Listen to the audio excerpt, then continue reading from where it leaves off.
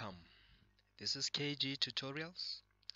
Today we are going to talk about companies ledger account lesson 2 please make sure that you have watched lesson 1 I know in the previous video I left you with a question of this amount. 97,500 where will this amount be recorded?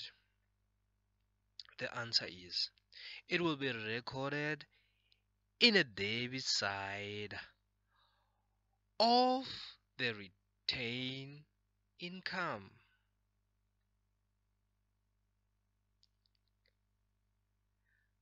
But today we are not going to focus on retained income. We will deal it with it later because we are still working around the appropriation amount. So today we're going to focus on SARS income tax. But the question is, what kind of an account is SARS income tax? Is it an asset? Is it an owner's equity? Or is it a liability? The answer is, it depends it depends on the balance amount we have. For example if we have a debit balance it it will be an asset. That means the SARS is owing us. We have paid more in the previous financial year. Then now, if we have the credit balance, it will be a liability. That means the company owes us. And another thing that you should expect on this account is that we must always have two provisional payment because by companies act that we've talked about in the previous video we are the company is compelled to make two provisional payments. So now you already expect two provisional payments there. Now let's take an example we are required to prepare the SARS income tax for the year ended 28, 29 February 2020. Note that this is a continuation of the previous video. On 1 January 2019, SARS income tax reflected the debit amount. That means this will be recorded on the debit side and is an asset. And that means SARS is owing the company how much? 10,000. Now let's record the amount. We're going to record it on the debit side as balance brought down of 10,000.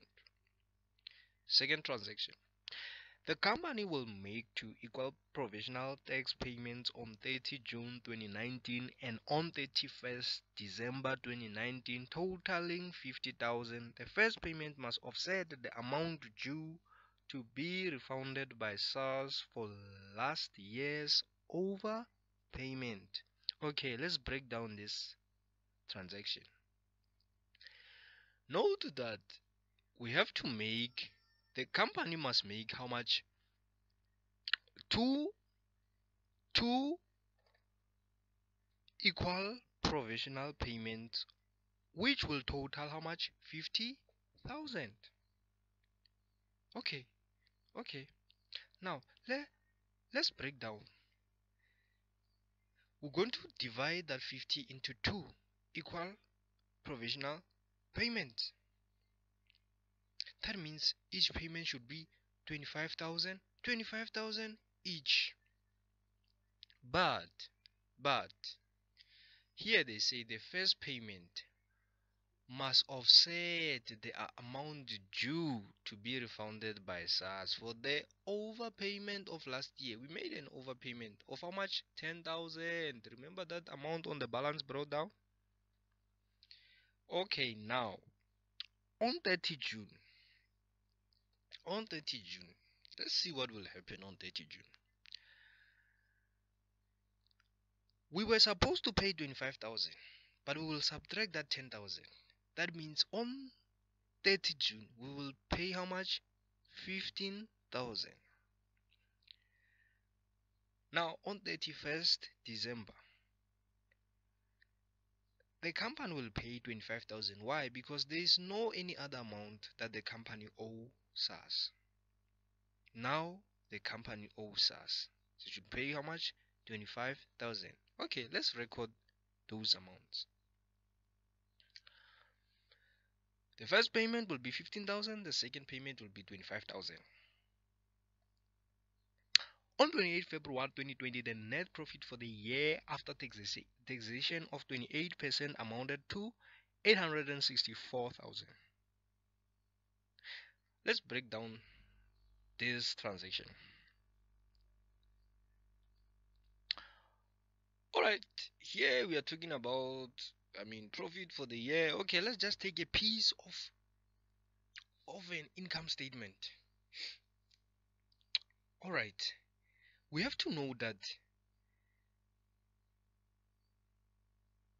this amount of 864,000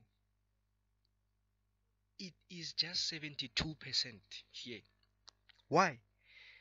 Because we were told that income tax is 28%.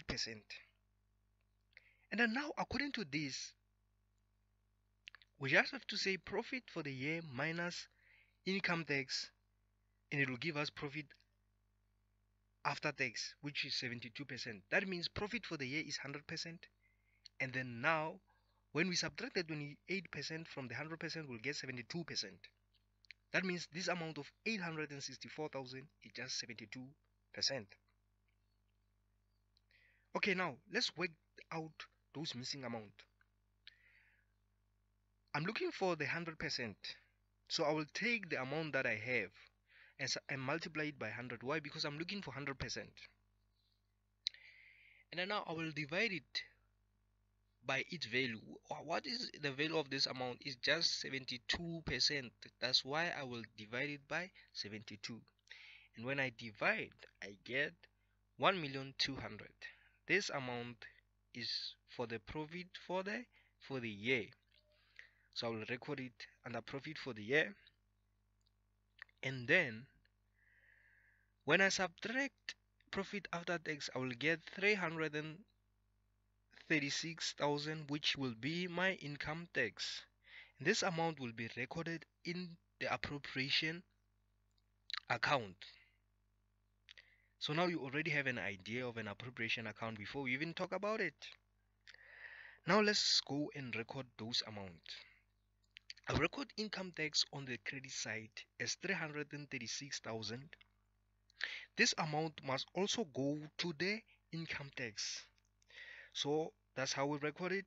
It will be SARS income tax of 336,000 and then I will close off the account by appropriation account. That amount is will go to the debit side of the appropriation account like as showed uh, previously now my last step is to close off the account I check which side is bigger and I found out that the credit side is bigger then I close off the account that means my balance my balance carried down will be on the debit side.